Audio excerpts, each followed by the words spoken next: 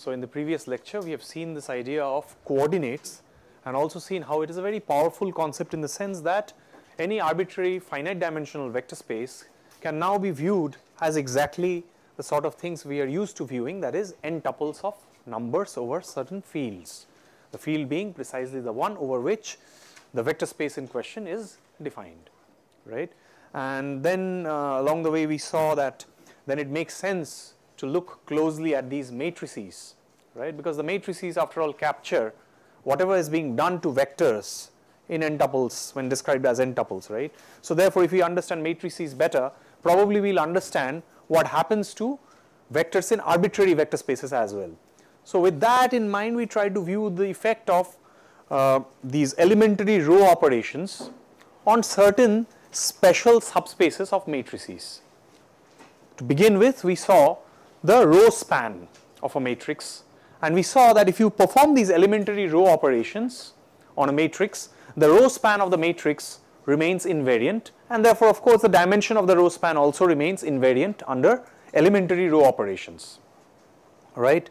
Not just that, we also saw that if you carry on these elementary row operations until you get the row reduced echelon form of a matrix, then it is precisely the non-zero rows that are left behind in the row reduced echelon form that also constitute a basis for the row span, right. And that is where we stopped in the previous lecture and we mean to continue or carry on from there and now study the effects of these elementary row operations on another important subspace of a matrix that is the column span or the image of a matrix. But before that there were a couple of questions which were pending from a couple of lectures back which I think needs a bit of clarification which were posed to me at the end of the lecture yesterday. One of the things was this symbol plus. So we wrote subspaces like so and said that this was a sum of subspaces. But you could also see certain places that they use this sort of a notation and this is different from the sum in the sense that this is what we call a direct sum. We have actually seen this object. Maybe we haven't used the symbol explicitly. So when do you say that a sum of two subspaces is a direct sum? It is precisely when not just the fact that every object belonging to W1 plus W2 is representable as W1 plus W2 with W1 coming from the big W1 and W2 coming from big W2 but the representation is also unique. We have of course studied this in some detail and seen that it is unique precisely when the intersection of those two subspaces W1 and W2 is exactly just the 0 right, the 0 subspace. So you can now conclude that a sum is a direct sum if and only if the intersections of those two subspaces is just the 0 and nothing but the 0. Yeah, that is another alternate way of viewing what a direct sum is. So whenever you come across this sign in the context of subspaces, you should read this as a direct sum instead of just merely being a sum. So a direct sum is a sum of course with the special property that every object therein is uniquely representable as a sum of two vectors, one coming from W1, one coming from W2, right. So that I hope clears the air on what this symbol means. You might come across this symbol in the problem sheet, right. So this will be part of your syllabus for the quiz, that is to say even though I am explaining it right away, but you know you have come across this object multiple times before. Uh, so with that being cleared, there was another question, I mean probably uh, which would help, not precisely a question, but something that would help in viewing this thing that we saw yesterday, which is basis change, right. So of course you know what basis change does, you have this matrices and you operate and take a transformation, right. But when we talk about basis change in case of arbitrary vector spaces, what I am going to show you now is that this basis change is nothing but a sort of substitution you see, okay. So for instance, let us take the polynomials of degree 2 or less whose coefficients are real, right. So one of those bases could be 1 x and x squared. We have already seen this is a linearly independent set. We proved this in an earlier lecture and we also know that this is a generating set for every polynomial of degree 2 or less over the field of real numbers. Suppose this is your English and French, which is a new basis, is given by this, okay, where t is some arbitrary real number. Now suppose I have a polynomial, say f, f of x, which is an object that comes from here, given by c naught plus c1x plus c2 x squared, all right. So obviously, if I want to now give it a coordinate representation, I can say that f with respect to the first basis is what? Remember these have to be ordered basis in order for them to be considered as coordinates suitable for coordinate representation. So this is of course C0 times 1 plus C1 times x plus C2 times x squared. Right, so this is just C0, C1 and C2. And the question that is posed is that what is f represented in terms of B2? all right. So you can give a very direct answer to this because this is something you are familiar with. This is just substitution you see, right.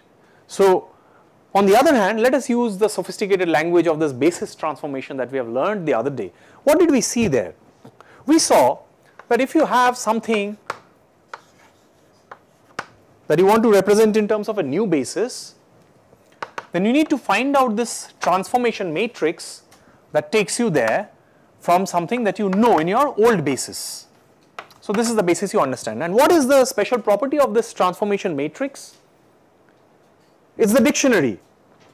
So this T would be every object in the old basis, which is this, represented in terms of the new basis.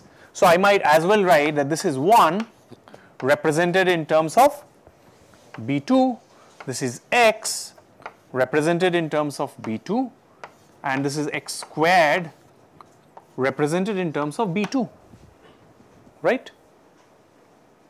It is exa exactly the application of what we have derived in the previous lecture, only that I am now choosing a very specific vector space to illustrate the point. So I am just solving an example to make that concept very clear, which is something that some of you had probably asked for if I didn't, if I'm not mistaken. So, what is 1 in terms of fellows in B2? You see, 1 can be written as just 1 times the first fellow here. So, 1 in terms of B2 is simply 1 0 0. Yeah. What is x? in terms of fellows in the so let's let's write that down shall we? So x is nothing but t plus x taken one time minus minus t times 1 is it not? Notice that this is the second element in the second basis. This is the first element in the second basis. So therefore, when I write x in terms of the second basis, what is its representation going to be? Is it not minus t 1 0? Yeah? Clear so far? It is just t plus x minus t, right. So 1 is the member in the basis set that is this B2 and t plus x is also a member in the basis set. So I take the difference of these two bases with this one scaled by t and I get back x, right. What I need next is x squared. So let us write that down again x squared is I of course need t plus x whole squared but then I need to get rid of 2tx yeah. So then I definitely need minus 2t but the, I cannot have x free, right? So I have to have t plus x, but in trying to get rid of minus two, uh, uh in 2tx, I have also added minus 2t squared. But this one also had a t squared, which I had to anyway get rid of. So now I have to get rid of what? t squared minus 2t squared, which is a plus t squared, uh, minus t squared that's remaining here. So I have to have a plus t squared times 1, right? See the operation being carried out here? I hope there are no mistakes here. So then x squared, sorry, x squared in terms of this basis gets the following representation which is t squared minus 2t and 1 which basically tells me that this T matrix is going to be equal to by stitching together all those parts 1 0 0 minus T 1 0 and T squared minus 2T 1. But you see this is a formal language that we have learned but in other words what we are essentially doing is just substitution. Instead of representing everything in terms of x squared, x and 1 you are now representing in terms of it is a shift you are giving to x. So, x plus t whole squared, x plus t and 1 is of course the constant does not matter right. So, now if you take this as a t and you take any arbitrary value of c0, c1, c2 and you hit it with this matrix the coefficients in terms of this representation will show up as a result of that matrix multiplication right. So, this is probably an example that sort of elucidates what is being carried out essentially a substitution that is being carried out and we give it a name called the change of basis right. This is clear right okay good. So, now having cleared up the backlog from uh, some of the queries posed in the previous lectures we will move on to the new stuff that we plan to cover today. So, just to quickly summarize the last few points that we observed yesterday, we saw this elementary row operations leave row span invariant. In other words, the row span of a matrix does not change through elementary row operations. Okay. So, of course, it is a straightforward thing to see that if the subspaces themselves are the same, then the dimensions also would be the same, right? It is a no-brainer. But by the same token, since elementary row operations and elementary column operations are kind of like duals to one another, in other words, as I said, elementary row operations on A are the same as elementary column operations on A transposed, right. So, whatever property you have for elementary row operations vis-a-vis row span reflect exactly in the same manner for elementary column operations vis-a-vis the column span or what we call better as the image. But let us call it column span because we are dealing with matrices. Image we will reserve for something more generic, more general. So, these two things I have shown you based on that I am not going to prove this, there is nothing really to prove. So, the column span invariant and of course, the elementary column operations leave the dimension of the column span invariant. Okay. So far so good. Yeah. However, the problem is, the problem is when we perform elementary row operations, the column span, what happens to it? Is it preserved? Let us take a very simple example.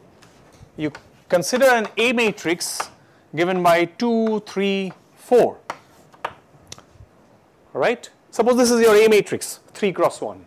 I can always choose an A matrix like this. So, if you perform elementary row operations on this until you get, get its row reduced echelon form, what you will end up with is an R that looks like 1 0 0. Now, if I ask you about the column spans of these two fellows, are they by any stretch of imagination the same? What's in the column span of this? Any vector of the form alpha 0 0. Right? Column span means what? Anything that's just a scaled version of this. It's a single vector. So anything in the span of this is just something that's scaled by some real number. What about this? Clearly not the same. I mean I don't even need to prove this, right?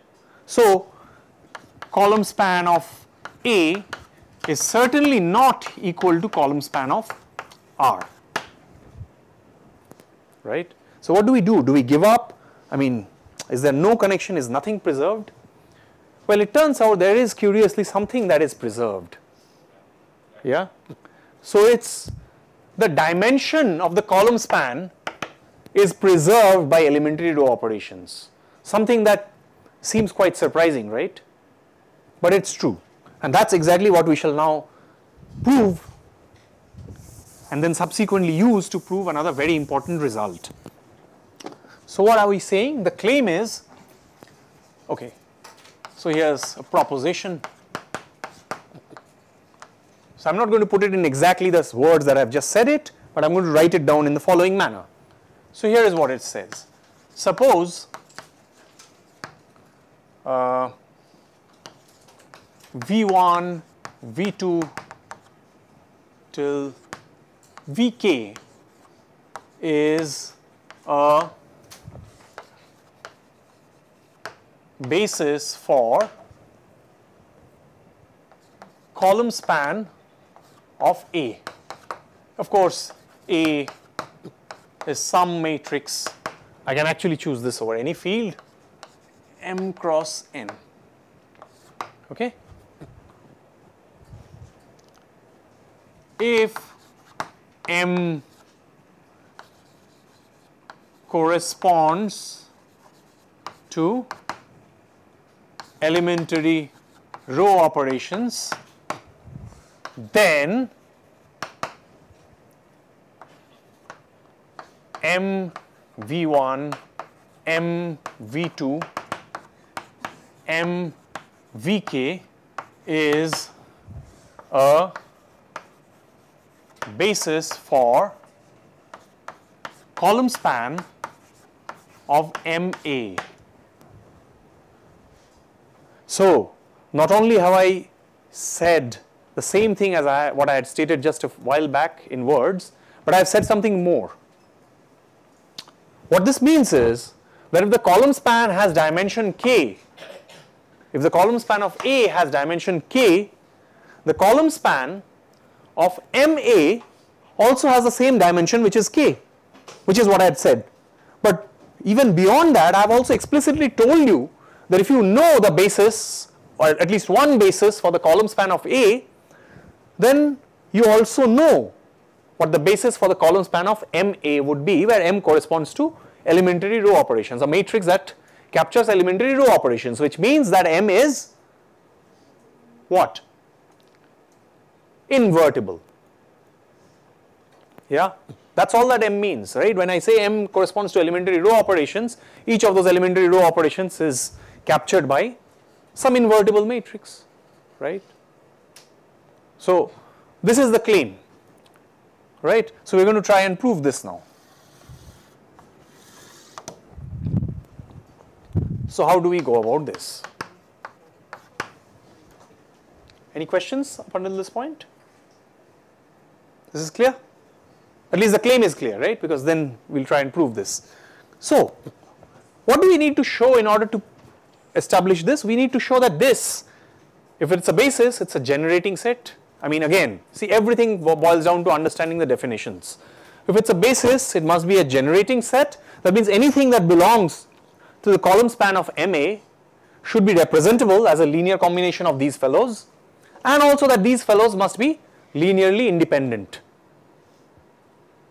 Yeah. So, let us take the case suppose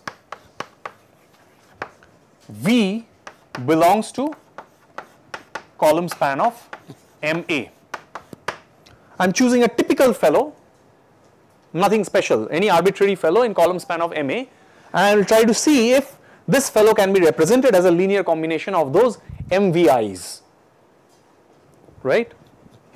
This means that V is equal to m a x for some x belonging to f n right?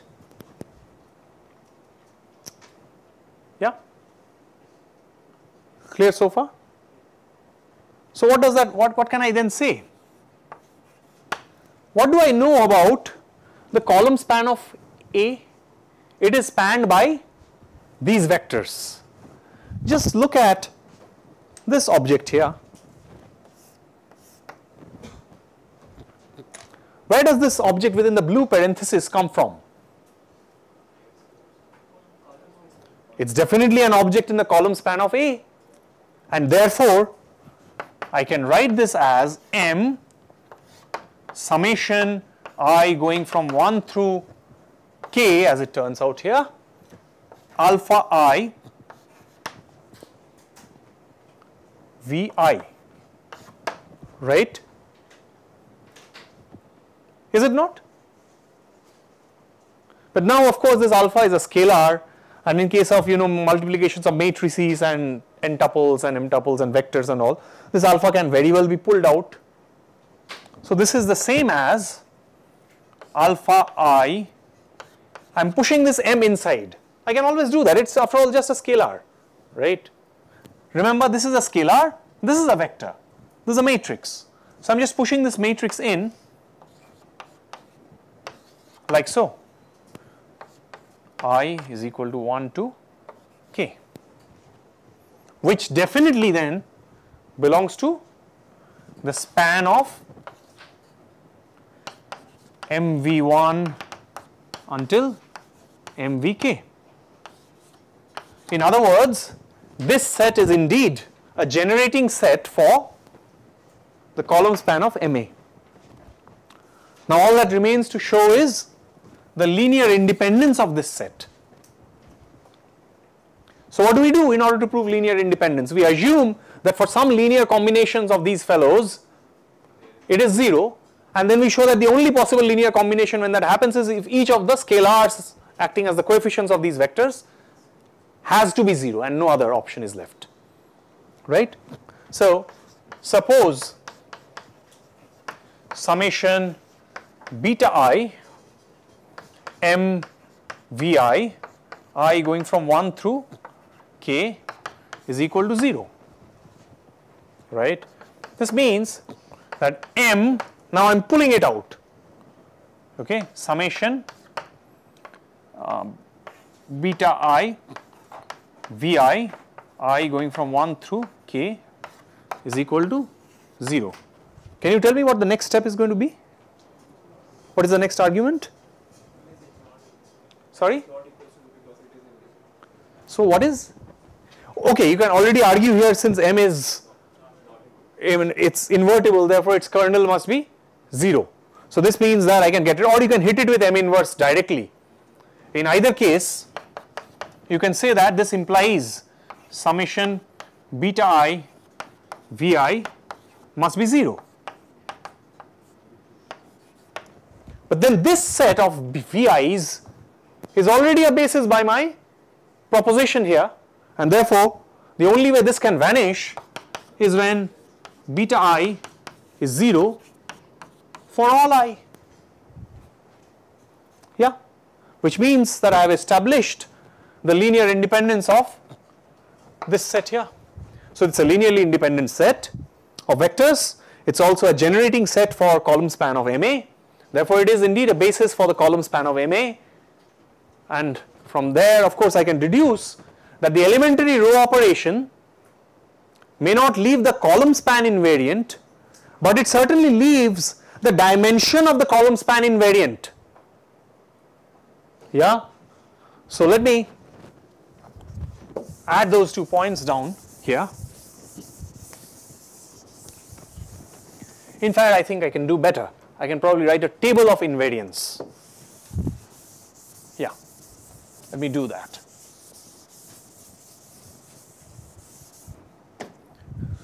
So this is a table of invariance.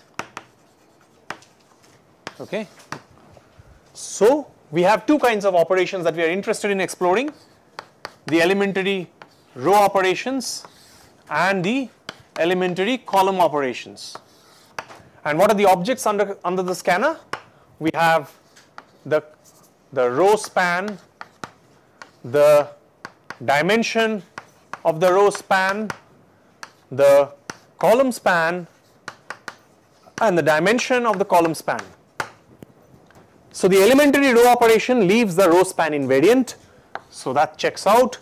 It leaves the dimension of the row span invariant, of course, that checks out. It does not leave the column span invariant, so that doesn't check out, but it does leave the dimension of the column span invariant, so that also checks out. And of course, I don't need to prove any of it for this because it's very analogous. So the row span isn't left invariant here, but the dimension of the row span will be left invariant. Yeah, the column span will of course be left invariant as will its dimension. But what does this tell us? Now for one of the first non-intuitive sort of results in linear algebra, at least insofar as matrices are concerned, we shall now see that. Just armed with this table of invariance, we will be able, able to infer that. So let me outline my argument first.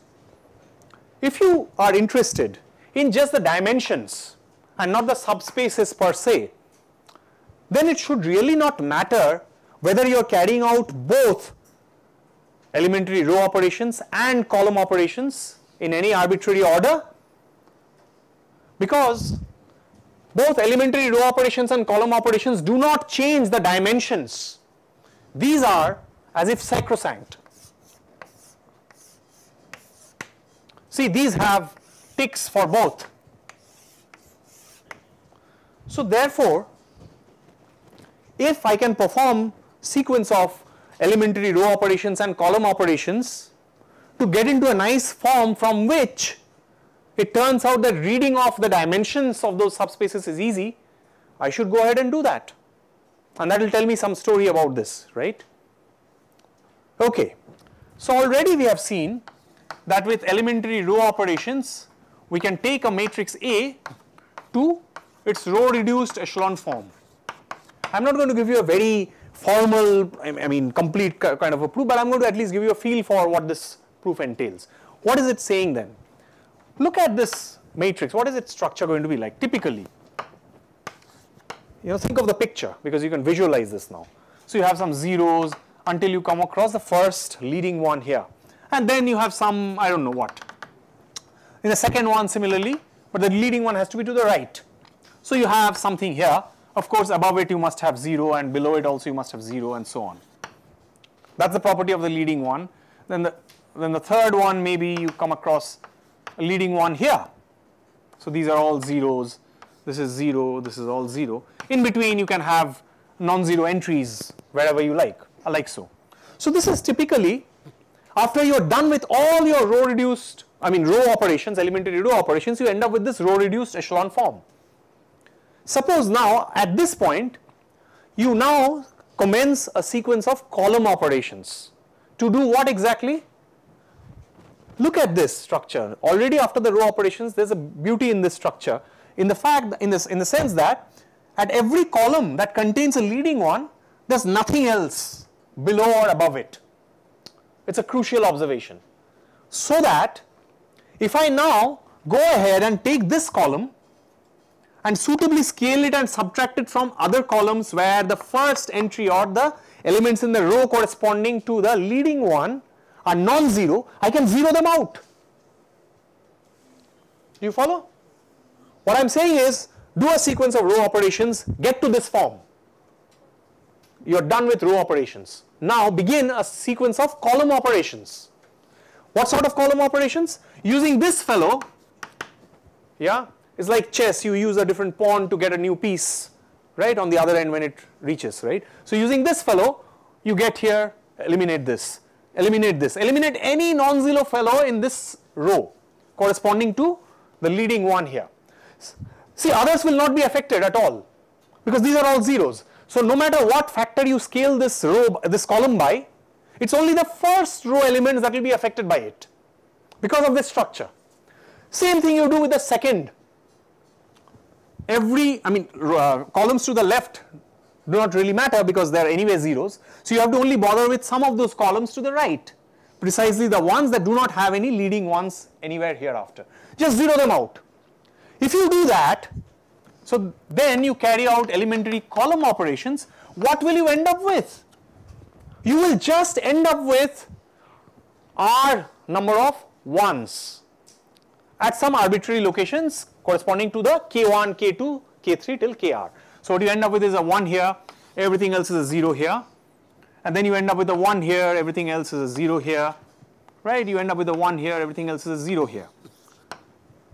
Now from here, you carry out the third kind of elementary column operation, which is permutations.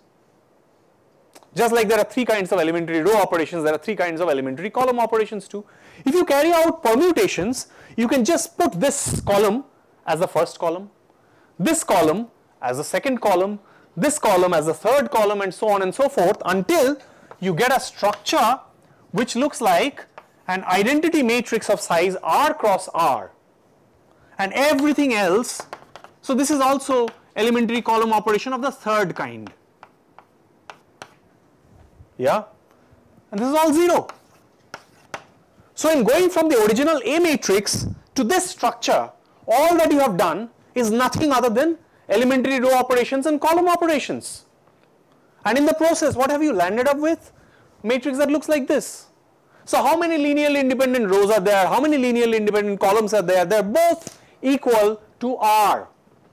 So therefore the row rank and the column rank are the same.